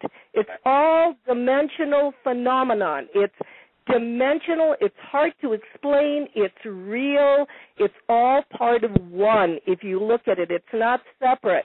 And to answer your question, it's being done. Luis Mostajo is bringing a group of people into the salt desert uh, in uh, August to do just that. But it's down in South America. I I'm probably going to speak for Mike Bowler first on this one here and say, if it is out there, where can we find this video of this gentleman stepping onto the uh, alien craft? The first thing you have to do is study Sixto Paz, everything about him, and I interviewed him. Uh, so I Oh have no, no, his I, just Yeah. straight up. Where, where can we find it? him. You need to ask him. You need to ask. Uh, Sixto Paz was uh, denied entry into the United States at the border. So he's had serious problems trying to get here to disclose. But So he, can he just on YouTube? YouTube is international. Can he create a website in his home country and put a video on his home? Has- yeah, but I mean that's ask, that's asking for. You're going to get all the skeptics saying it's not real anyway. Isn't it better to talk to Sixto Paz and ask him uh, if they if the journalists signed non-disclosure agreements, what happened, and so forth? But I know for a fact that that's part of Sixto Paz's contact was bringing journalists and video. He has video, but he lives in Peru. And and another problem is he doesn't speak English. That's that's a major. I, all the interviews I did was on Skype with an interpreter, so means I went to a lot of trouble. Uh, so you know, if you want to, I'll give you all the contact information. If you want to contact him, and you got to get an interpreter, unfortunately. uh, you he'll probably cooperate with that because he's tried to come to the United States and been denied entry. And, and this is probably where I'm going to get myself in trouble, and probably where Andrea, who's listening in in the chat, is going to cringe because she's knowing where I'm going with this. But no, um, if in answer to my your your statement or suggestion on that, I don't want to talk to them. And here's the only reason why. Is because then in our paranormal community, sometimes we get guests who come on the show and they talk about the time that they were scratched, the time that they were pushed, the time they saw a full body apparition, the time that something floated across the floor, the time that something disappeared, and we categorize that all together as ghost stories because again from a pragmatic standpoint in this field we need to collect the evidence. And in this particular case talking to him just turns into another ghost story because he could tell me about the complete journey while he was on board go, that go ship. there, go there. Go there. If i had money i would be there in 2 minutes because they've invited me down there the problem is that this kind of field research, and you know this, you know this, Andrea knows this, everything, is not supported. In other words, we don't have the money to go and to do the research. It's done from far away. In my case, I do it face to face, so I look at them. But, you know, it, people should do this kind of, you should take a tour. Take a tour, go down there. And I'm sure that in, I know in Jim's investigations, he sees them face to face and I think in some of your investigations, you guys go there. It's called field research. And, and Paul, you're right. You're just going to get some calls there. Um, I think where I, I, I, kind of want to go, and, and Jim, let's start with you on this, is, is that one of the problems with not only the ghost and spirit community along with the UFOs, because we're both paranormal, uh, and even the Bigfoot, we've had some of those uh, researchers on here, is the proof's in the pudding. And I'm not saying that what you guys are doing, I'm not trying to debate you and say you're making this up as we go, because I don't think you are. I believe in what you're saying, and, and I'm fascinated with this field too. I wouldn't do these shows. But if I went fishing every weekend and told you guys on the shows on Monday and my girlfriend and everybody about the 20 and 30 pound fish that I was catching, but I never brought them home. I never had a picture of them. The phone always fell in the lake and it ruined the picture. The fish got away. It did this and it did that you're still going to believe me because you like me and you think I'm an honest person, but you'd like for once to see a picture of the fish. And I think that's where we're at. And I think the problem is, is that we have a lot of tangible evidence out there that we love talking about and going over, but when we act as though it's credible as a community, the people that are not involved in the community do not respect the community as a whole. And I think what we need to do is kind of look at things for what they exactly are and say, this is very interesting. This is very interesting. We don't know that it's evidence. We don't know that it's factual. Uh, it needs more research, but we can certainly put it in the pile that we have not confirmed or made this factual yet and move along with the small things. Just because we don't have a lot of facts doesn't mean that it's not out there. It may be there. It's a very slow process. As George and I have said in the Ghost and Spirit realm, we're early pioneers, or at least I think a lot of people are, that 100 years from now, who knows where this research will be. And, and, and Jim, your thoughts on that? I uh, I think there's so much disinformation out here. I mean, anybody can try to make a video and of, of a of a uh, spaceship crossing their backyard or uh, going past a, a, a large city. That that stuff definitely doesn't help um, the research, the UFO research. It's the same thing in the spirits or in the uh, the uh, ghost hunting world people coming up with EVPs that aren't the real voice or uh, um, using uh, an iPhone app to insert a ghost into a picture.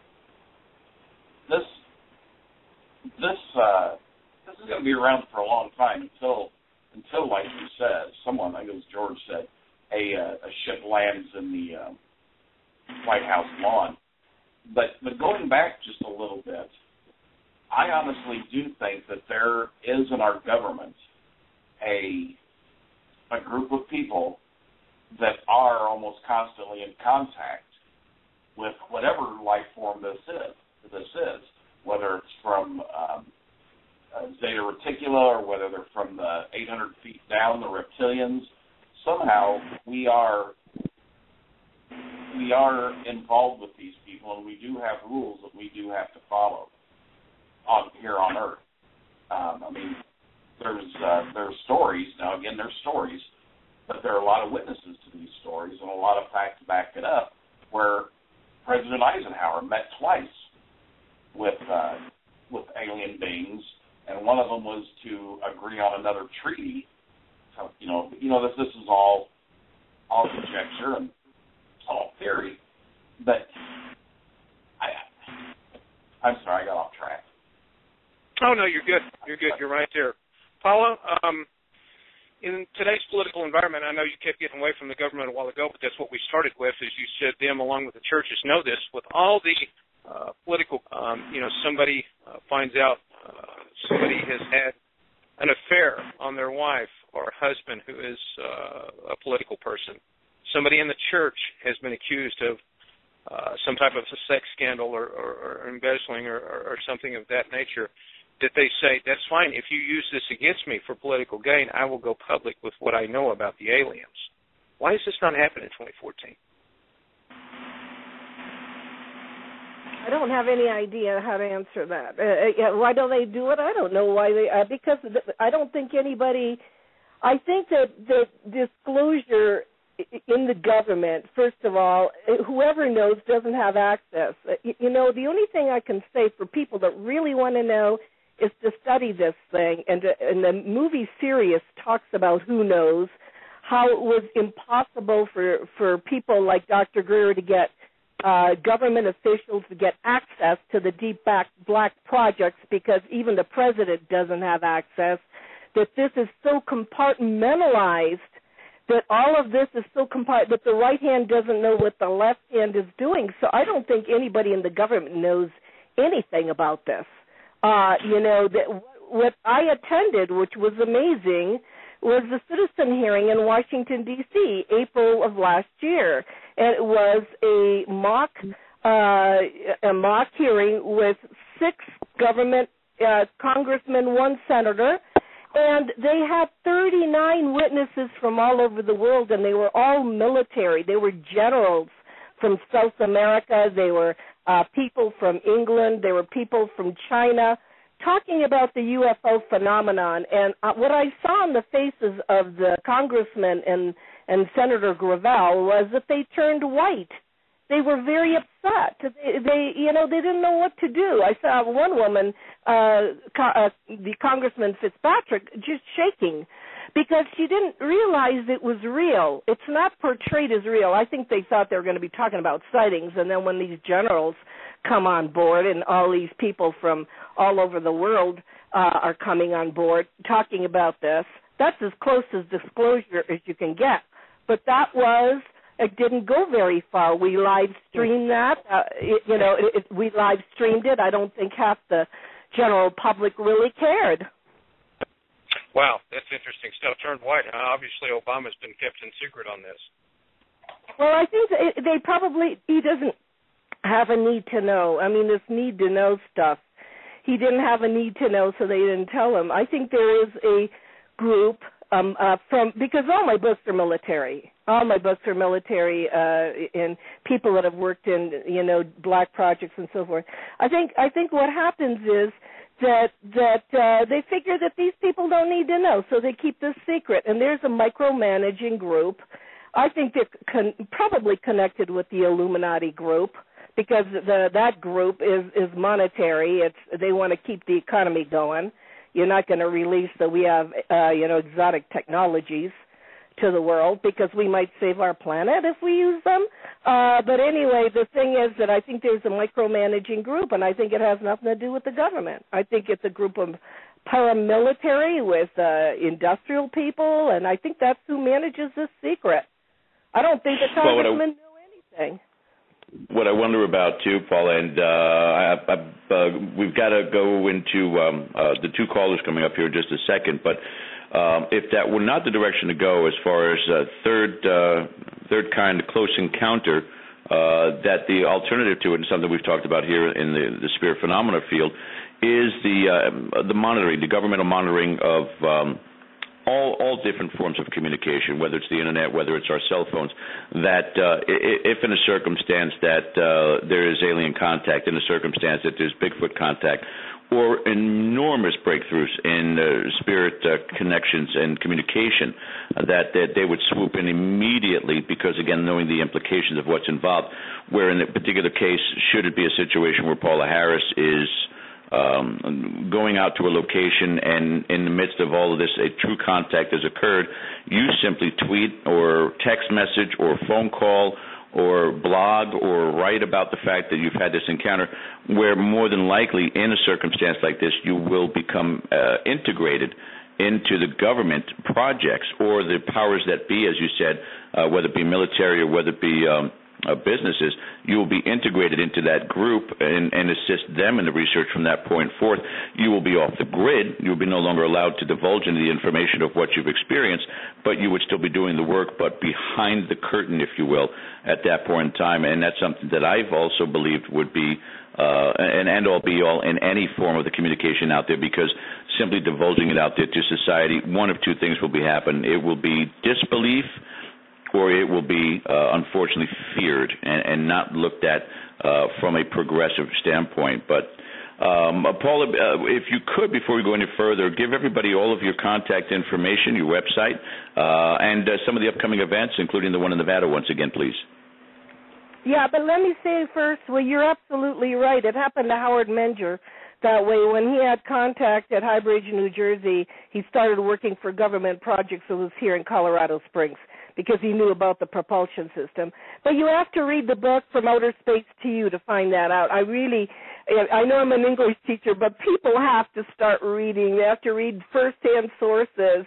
And uh, my contact information is just my name, and I'm Italian. It's P A O L A Harris uh, at paolaharris.com. One, and then StarWorks is the conference I'm putting together on consciousness and and UFOs. I'm going in a completely different direction than the regular UFO conferences. I mean, this is all new blood and all new thinking and and mixing together the dimensional phenomena, and that's the one in Laughlin, Nevada, November 14th, 15th, and 16th under the company StarWorksUSA.com.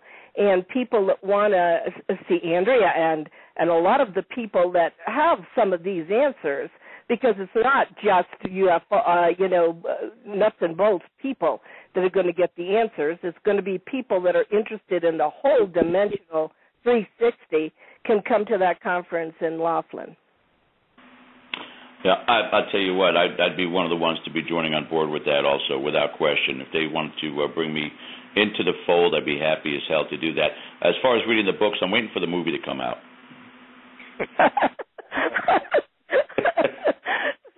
Cute. Andrea would say right away. Andrea would say they were, it already did, George. It's called Close Encounters of the Third Kind. That's true. I'm sorry, but that movie is real. Yeah, I, I talked to the guy that was the consultant. That was Allen Hynek's film with um, Spielberg. And Spielberg was on his board of directors. Okay, when I was working for Hynek, so Spielberg's an insider. Oh, God bless. Yeah, and uh, I, I have a feeling he's not done with uh, expressing it either. Uh, Paola, you're more than welcome to stay with us. Uh, I've got some guests uh, calling in. We've got some topics to discuss, but uh, feel free to stay if we uh, lose you during that or you have to go. Uh, I can't thank you enough for such an impromptu visit with us. Uh, it's been extremely educational, and uh, looking forward to uh, seeing you in that Nevada time frame. I'll be going along with Andrea. Well, I love you guys. I'd do anything for you, so I hope that you know that it was I gave you some kind of information. Oh, absolutely. Yeah. We'll have to have you back again, honey. Okay. Take care. Thank you, darling. Um, Mike, before we, uh, I got Bridget on hold here, and I want to talk about the event that uh, Bridget and uh, Jim had uh, uh, visited uh, this weekend, Fort Mifflin, and, and some of their adventures there. Uh, before we do, I want to bring in a very special individual. He's been uh, somewhat of a silent partner with the Dead Air Paranormal family. He's worked uh, in conjunction with uh, Wednesday Night's Paranormal, and uh, he's about to uh, go on an endeavor with you, starting, as a matter of fact, this coming Friday. And we're talking about um, Mr. William Peters, Mr. Wild Bill, joining us. Wild Bill, thank you for joining us tonight, my friend. Hey guys, how you doing? Absolutely wonderful. Now, Mike, uh, you guys can work in partnership on this and ch- kind of give everybody what's going to be going on with the Paranormal Channel Network, uh, part of our Dead Air family, debuting this coming Friday. How often are we going to be hearing from you guys on this, and what it's basically about? Well, we had uh, talked and we realized that I was way underutilizing my talents. One being one of the better looking men in the paranormal field, so as Wild Bill suggested, we uh, appointed me as anchorman of the newfound PCN Paranormal Channel News. it's going to air this Friday, premiere this Friday, June 27th, uh, 2014, at 9 Eastern, 8 Central, 6 Pacific, right here on Dead Air, and simulcast through YouTube through the Paranormal Channel, which it'll be a little bit of a delay, but we'll have that up there. And what we're going to do, George, is uh, Tracy Todd's also going to be joining us, produced by Pamela Croker. Um, we want to do more of a news show. That we love these long uh, discussions like we're having tonight, where we get into the uh, meat and potatoes of, of what makes this uh, community go. But with what we're trying to do with the news is we want to bring different people from around the globe, not just the country, but from around the globe, uh, to let us know what's going on in the community, uh, some of the new findings, uh, whether it be crop circles like we discussed tonight, if something like that comes up. Uh, our lead reporter, Tracy Todd, will be reporting on that. Uh, William is going to be along with me. Uh, we're going to kind of do, if you've ever watched Real Sports with Bryant Gumbel, uh, we will allow the reporters, we're not going to have guests, we'll have reporters, and if anybody's interested in reporting for PCN, please contact us and we'll get that info out to you where they they have about seven to ten to, to twelve minutes, George, to basically uh, research and, and, and tell us what they've discovered. Uh, at point in time, William and myself will uh, kind of be brief and, and, and, and ask a few questions uh, that we think the general audience would want to know. Uh, we'll take a big a quick break and uh, we're going to go on to the next report. Uh, if you've ever listened to Paranormal Kool-Aid, uh, William uh, Peters, as we call him, Wild Bill, uh, was instrumental in getting that off the ground with Chris Medina, which that still airs every Wednesday uh, right here on Dead Air, uh, 9 Eastern, 8 Central. Uh, but if you listen to the music, the commercials, the drops that we've added in uh, to the show, which I think makes it a very special presentation, it's going to be a part. Uh, Williams worked very hard uh, in, in putting some of the things together that you'll have to tune in this Friday. Uh, Absolutely. Go ahead, Weeds. Okay. well, I have to confess, this is going to be my first time on the air as a co-host. So I'm no longer a silent partner, but I am a stuttering partner. So some of my parts might take a little longer than usual, but that's okay. It is a paranormal show anyway, so there's nothing normal about my voice. And, Uh, I wouldn't in this. It, it, Bill, in this particular field, I tell you this: it, it's not a speech impediment; it's speech enhancement. well, every time I have been abducted by the aliens, I, I keep asking them if they could put in some type of a voice activation chip or something, but they end up leaving me stranded in an open field in Colorado naked. So I don't know. Uh, yeah, yeah. What they're doing between the time that you are uh, first on the ship, naked, anybody's guess. But again, it's going to be a great, uh, you know, a great direction to go. Anybody who wants to uh, Yeah. uh, suggest topics or, or want to come on uh, possibly as an anchor with uh, uh, this new debut show, and and and it's again, it's going to be the last Friday of each month. It's only going to be once a month, guys. So it's important to get the critical stories for the month uh, each month uh, to bring up topically. You could either go to uh, Mr. Bowler's page, Michael Bowler, on Facebook, or go to the Facebook uh, page for our show, Dead Air Paranormal Radio, and uh, put those suggestions in there, um, or your resumes for that matter, if you'd like to come on board and, join it. Uh, but uh, I, I'm really excited about this launch, guys. Uh, uh, as a matter of fact, I will be listening uh, diligently uh, this this coming Friday night for the debut, and might even call in. Depends on um, you know what Mike's schedule is going to be for the entire show. But uh, I'm excited for you guys, and I wish you guys the best of luck. I know you're going to do a, a bang up job. And uh, well, Bill, you just need to come out of your shell with your sense of humor. That's all I got to say. well, thank you. I will give it a college try. Yeah. Right. Uh, now, um, uh, you guys stay with us. Uh, well, Bill, stay with us as long as you can. I know you're on the road, but uh, I'd love for you to stick around. Uh, but uh, we're going to bring this. Uh, uh, this wonderful uh, lady on with us as well uh, from the Gettysburg Ghost Girls. Let me start before I bring her on to Uh, Jim Heater, uh, did uh, Bridget bring any moonshine to Fort Mifflin? I actually didn't go. I didn't go to this. Bridget? Yes. Did, did did you did you bring? Well, I know you brought bug spray, but apparently that didn't work well there, did it? Um, no, all I can say is I I really know um what uh mosquito a la rare tastes like.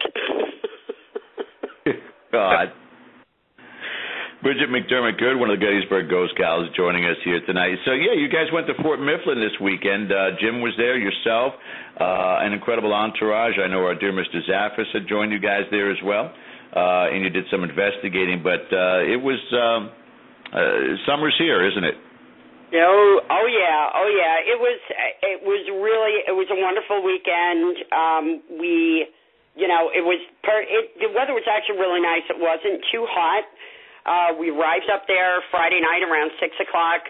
Uh, had a lovely dinner with Mr. Zaffis, and and he was talking quite fondly of Buttercup and um, uh, we had a nice time with John Brightman, uh, Marcel and Jen. Uh, we all sit around, had dinner Friday, and then the event started at about four o'clock. And uh, you know, we were we were just going up um, to just kind of see how the events were worked, to get used to it. Uh, but we actually wound up participating. Uh, we were checking everybody in uh, putting bracelets on everybody, uh, you know, making jokes, having a good time. And then we actually led a group at the fort. And uh, like I said, it was it was great if you were in the buildings, but if you were standing in the middle of the grass, uh, you really got to taste mosquitoes. but the fort is an absolutely beautiful location. Uh, you know, lots of buildings. Uh, we're dying to actually get back out there and investigate it. It is absolutely huge. Uh, it just what an incredible, beautiful place, and and Lorraine, who runs the fort, really great lady. Uh, Lisa and Dawn from Pups were there. They were terrific as well. Uh, had a lot of fun with John Brightman. Um, and David Roundtree had also come up. He was helping out. Uh, it was just it was a free for all, and and uh, and we had a little cannon incident at the end of the night. I heard about that too, which I want you to elaborate on too. But uh, uh, Jim Heater, let's go with the cliche question: What's the scariest moment you had at Fort Mifflin? I was not there. I thought you were attending that. No, sir. Why the hell did I, I think that you were there? I don't know. I don't know because you're basically everywhere, my friend. I know you always go to all these different. Uh, have you uh, have but yeah. I could make something up real quick. He, he, he was there, George. He was selling moonshine. He was there. Mr. Heater. Uh, no, I wouldn't believe Jim to do that whatsoever. He's a consummate professional. I've gotten no. a chance to investigate with him, and and he is uh, uh, very stoic in his in his. Okay, yes, he probably did sell a moonshine. All right. okay, never mind. But uh, no, Bridget, please go ahead and uh, and tell the uh, cannon story because we do have to have it on record so that uh, Mr. Zaffis will know from everyone else. well, it was towards the end of the night, and and at the end of the Fort Mifflin events with Ideal, uh, they set off a cannon at the end. So uh, Zaffis knew well enough to stand back, and I knew well enough not to go into the fields where all the bugs were. So I stood back by the gift shop, and Mickey was over in the gift shop, and uh, I was standing there talking to John, and he was eating his pretzel, and he was like, "Yeah, I always stand back here. I hate it when they set off the cannon." And literally, he said that, and the cannon went off for the first time, and he jumped about 50 feet in the air. Almost lost his pretzel, but he didn't. And uh and then shortly after that he he did take off. So he he stayed for one or two blasts. And then uh and then I hear John Brightman screaming Bridget Bridget. And the only thing I could think is oh no what did I do wrong so they called me up and they said it was my initiation into ideal that I had to shoot the cannon off. So I called Nikki. I said, let's go shoot this thing off. And Nikki and I got the pleasure of shooting the cannon off at 2 o'clock in the morning at Fort Mifflin. Oh, I'm sure the neighbors love that as well. yes, they did. Well, it's terrific. While you're standing there, there's like planes literally the it's at the end of um Philadelphia International Airport. So you're watching all the planes come in and land and you're like, Wow, I hope that doesn't fall out of the sky and like crash into the fort, you know? But it's it's a really cool sight to see and uh you know, it it it was funny watching watching John get um get a little bit riled up from the cannon. well, he may have not lost his pretzel, but I'm sure he lost something else like his bladder. But uh we'll probably hit him up on that in a future discussion too. Bridget, you've been with us probably uh, I know since about twenty about twenty five minutes now or so. You heard some of this discussion. I know you were very very vocal in the chat room. Uh, what were your thoughts on some of the things that we were bringing up? Uh, and again, it's it's pressed for for someone like Mike Bowl. It's hard pressed for someone like myself. Uh, and, and I wouldn't exclude Ashley Hall or Jim Heater from this also, that we're always looking to uh, get away from the ghost stories and get a, get get into the factual evidence, even if it means that once that divulgence is there, uh, once that disclosure is there, that uh, we will no longer be heard from. We'll be taking off of the uh, the grid or off the radar because we'll be integrated into the government. But uh, is there something that you would add that maybe hasn't been touched upon, or that you would strongly agree or disagree with so far in the discussion we had tonight?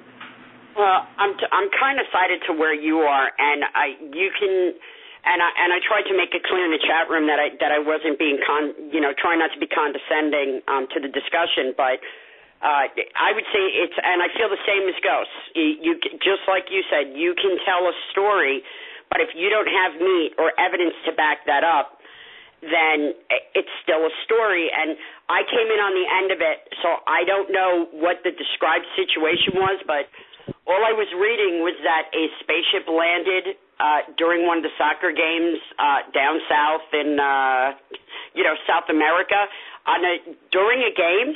Is that what they is that what they were claiming? Uh, no, no, no whatsoever. That was just a uh, an eye grabber for the show tonight. That's all that was. oh, thanks a lot, George. um, I I just think when you you know, there's so many things in this world, just like when when you're ghost hunting, and you know, a, a, a good ghost hunter always always debunks. They always question their own evidence. You you always have to question. Um, and then when when you cannot disprove it, and you feel strongly that that's how I view evidence. If I feel strongly after really trying to disprove something that it is paranormal, then I say it may be paranormal. I, I never say hundred percent ever with proof positive something is paranormal, but you know I know a lot of these people have these UFO experiences, and from a large majority of the shows I have watched personally, um, even some of the MUFON ones. Uh, uh, especially uh, the occurrences that took place around near the Poconos area, a lot of the people were seeing um, triangular shaped craft with three lights and and uh, you know, I mean, just just knowing the stealth fighters that out there, the designs of some of these craft, that I think yes, a lot of people are seeing what they're seeing in the air, but I think a large percentage of the time it can be explained away. It, how do you know the government is not testing something top secret? You don't, and nor are they going to say, "Oh, ladies and gentlemen, we'll be testing some top secret spacecraft uh, over the Poconos this evening, so you may see it." They don't tell the public that, so people are with their cameras. Oh, I think I see something, and uh, like I said, it's just like with seeing a ghost. You know, it's it's you know, unless you're it's in your face, you walk inside and like see an alien, you don't know is it is that government issued? Is it you know, there can be so many other explanations. So I think before, you know, someone goes and claims that, oh, this is definitely a UFO, how can you be sure when something's up in the sky a quarter mile away from you? You know, you cannot be. So, you know, it's possibly a UFO or possibly something else, you know. So I believe uh I know you believe in questioning things a lot, George. I I believe you have to question a lot and um and like I said, even even with the paranormal, eh, you know, as far as uh ghost hunting goes. You know, I'm not a I'm not a big believer in pictures. I'm not I'm not I'm not too happy with still photographs. There there can be a lot of errors in still photographs. Even sometimes on video people mistake things for things. So I, I think you you have to be very thorough in your investigation methods and also your uh, debunking debunking or dis, uh, disproving methods. Uh, Jim Heater, do you think that there will be a lot more in the future here of cross uh, research between ufology and spirit phenomena.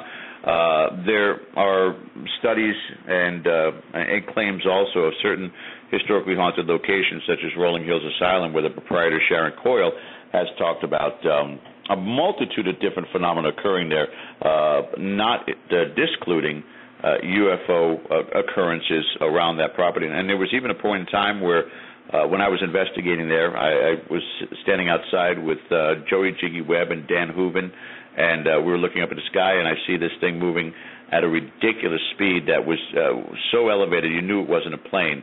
It was way, way too fast, but it could have been a satellite. But uh, there's been claims of that. Uh, of course, you hear some of the stories that Andrea Perron spoke of, uh, the farmhouse and some of the alien encounters that went on there. Uh, is there some sort of a connection, and yet We've missed it because we've been keeping the our eye on one part of this and not looking at a broader spectrum. You know, like we were talking last week, I, I really do think paranormal, this like the ghost hunting part of it's kind of run its course. So it seems obvious that we're going to have to look at something else to start investigating, and another another theory. And so I, I do not see why this will not come around and more people are going to get involved in this. I'm and first off, I also want to uh, well, not first off, this be second off. I, I want to agree with with these craft either being either man-made or you know UFOs wherever. But I've always kind of wondered why, if uh, if it is government issue or whether it's from uh, from Mars, little green men operating them or whatever, why they put lights on them if they don't want to be seen? Shut off your damn lights. Uh, it doesn't it doesn't make it doesn't make sense to me.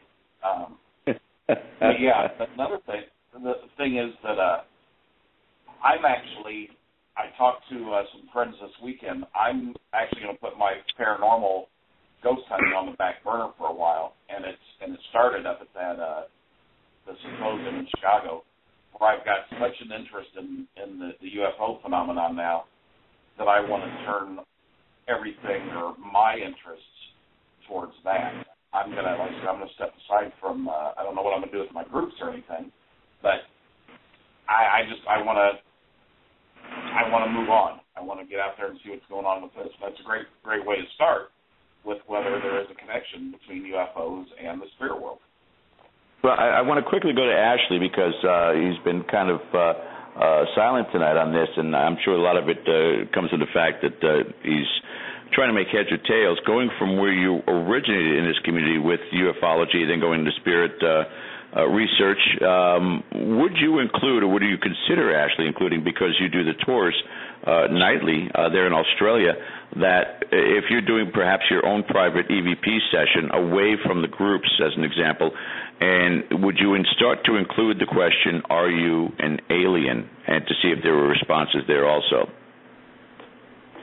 Well, yeah, it definitely doesn't hurt trying. Um, back in, it brings up an interesting point. Back when I very first started the ufology thing, that's where I very first came across shadow people. And shadow people are really, you know, quite heavily talked about in the ghost and haunting field. So there's definitely some parallels there for, for back in the UFO field. It was thought they were some kind of alien entity. So definitely does not help, well, hurt asking those questions. And I think I think lots of people should give that a go and, and see where that might take them. I think that uh, with the time remaining here too, and I want to get back to Mike on something that he just mentioned. Uh, but um, give everybody. You, you just last week. The reason we didn't have you on the show was because you were in Sydney uh, working on a documentary.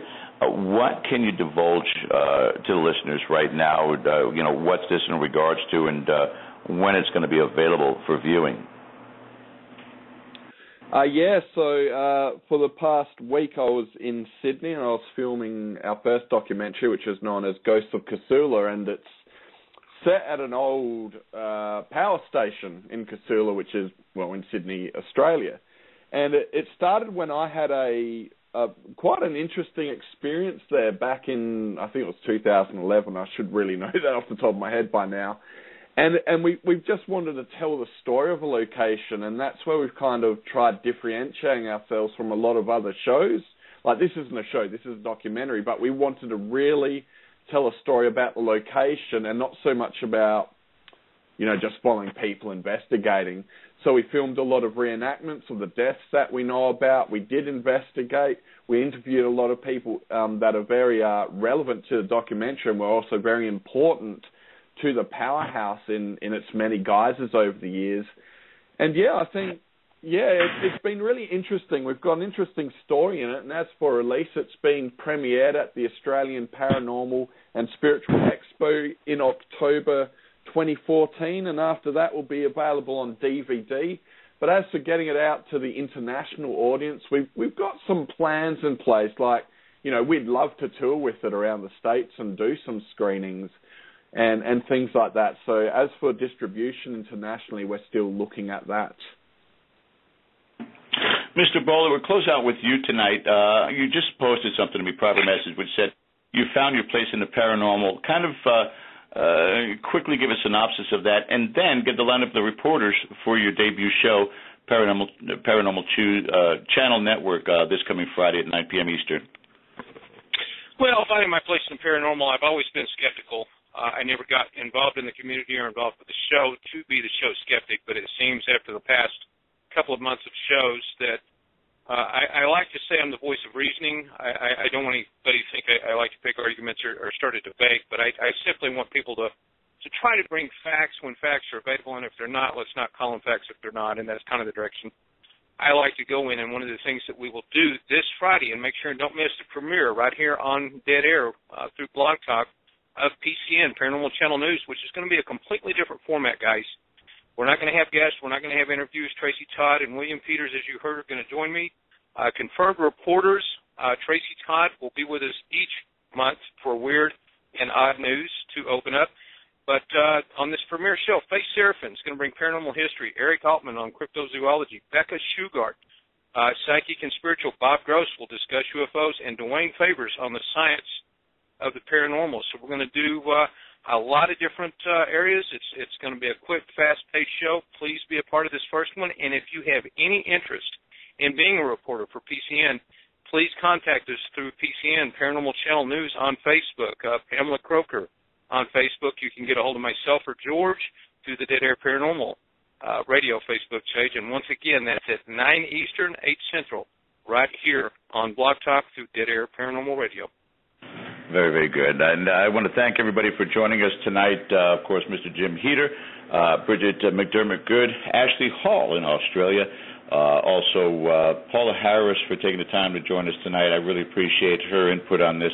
Uh, and if you guys get a chance tomorrow night, listen to A World Awakening with Andrew and myself, 9 p.m. to be customer, well, not customer appreciation night, but in a sense, all of our listeners uh, the foot soldiers, as Andrew called the people who listen to the shows are going to be calling in, giving their input on the first uh, five months that we've been doing a World Awakening, uh, and some of the things that topic-wise that we've addressed that they want to uh, respond to with us. So that'll be tomorrow night, 9 p.m. Wednesday night, Paranormal Kool-Aid uh, with uh, Chris Medina and his incredible entourage. Uh, also f- on Thursday, uh, Paranormal Hood with Joey Jiggy Webb. And, uh, of course, on Sunday, Mr. Matthew Slozer. And Sunday night, Deb Matthew Slozer, of course, uh, is out of town the next two weekends. He's up at Rolling Hills Asylum, and he's out with his family. So we are so uh, happy to have him come back and talk to us about whatever experiences that he had while he was out there. But uh, we're almost out of time here, guys. I want to thank you again for joining us. Uh, we'll uh, see you next time. Until that time, thank you for listening. to Primetime Paranormal. Have a good night. Remember, keep the lights on. Take care.